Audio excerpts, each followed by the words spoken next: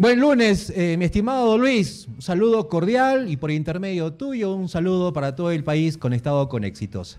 Aquí en Arequipa estamos muy preocupados por lo que está ocurriendo en el Valle de Tambo. En el Valle de Tambo está el río del mismo nombre que tiene una alta concentración de metales pesados detectado hace más de 10 años. Lo que no se sabía era cuánta de esa concentración de metales pesados se había transferido al cuerpo de los pobladores. Nunca se supo, siempre se denunció y ninguna autoridad hizo algo por ese asunto. Hasta que el año pasado, a consecuencia de la salud deteriorada de algunos pequeños, se han empezado a hacer exámenes y se han encontrado a niños con niveles de arsénico mucho más altos que los normales. Luego de ello se ha tomado prueba a cerca de 400 menores y un 75% de ellos tienen valores de arsénico mucho más altos de los normales, en algunos casos hasta 800% más de los valores normales por la contaminación del río Tambo, que tiene diversos factores, por la ubicación geográfica y también por la contaminación minera, como es el caso de la mina formal Aruntani. A ese tema se interesó el ministro Rómulo mucho.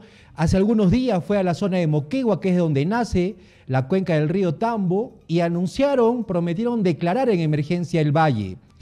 El último domingo, ayer, consecuencia de este problema de contaminación ambiental, ha llegado el ministro de Agricultura Ángel Manero al Valle de Tambo junto con el gobernador para hacer anuncios respecto de la declaratoria de emergencia del río Tambo pero se han encontrado con estas banderas verdes que tú ves en pantalla, que también están vinculadas con este problema de contaminación ambiental y tiene que ver con el rechazo al proyecto minero Tía María.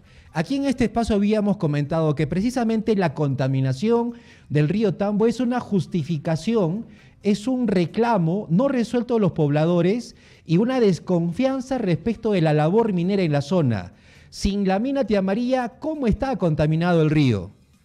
Y con la mina Tía María, ¿cómo estará después? Por eso, el gobernador Roel Sánchez ha enfrentado a bucheos, gritos, rechazo cuando intervino en esa reunión que se realizó ayer en horas de la mañana en el estadio del distrito de Dian Valdivia, provincia de Islay, que conforma la zona del Valle de Tambo.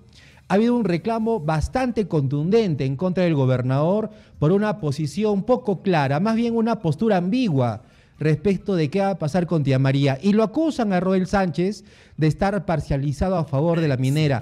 Acusan a Rómulo Mucho, ministro de Energía, de ser defensor de la minera. Le han dicho que vaya al Valle de Tambo, pero la posición que más trasciende, mi estimado Luis, es de que ellos ya no quieren diálogo con la mina Sador y con el gobierno. Simplemente rechazan la presencia de esta empresa y la posibilidad de que se pueda ejecutar el proyecto. Mira cómo está el río.